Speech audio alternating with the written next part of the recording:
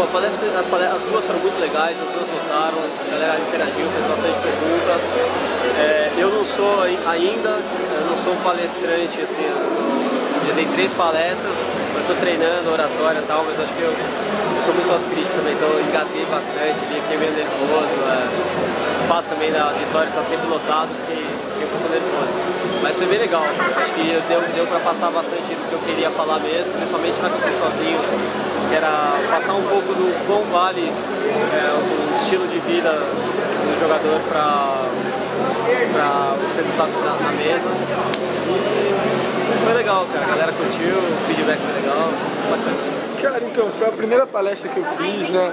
É, eu não tenho muito problema em falar, não tenho muita vergonha, essas coisas, mas quando você vai passar um conhecimento que teoricamente você domina, sabe, que aquilo é, é difícil, porque é uma responsabilidade muito grande, né?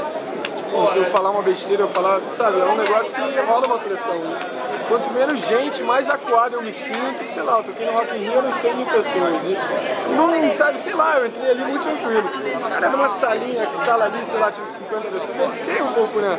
Mas depois foi fluindo, tava com o Bruninho Fosteiro também, que ajudaram bastante pra dinâmica da palestra fluir. Acho que a galera gostou, o tema era bem legal e, enfim, pronto pra próxima.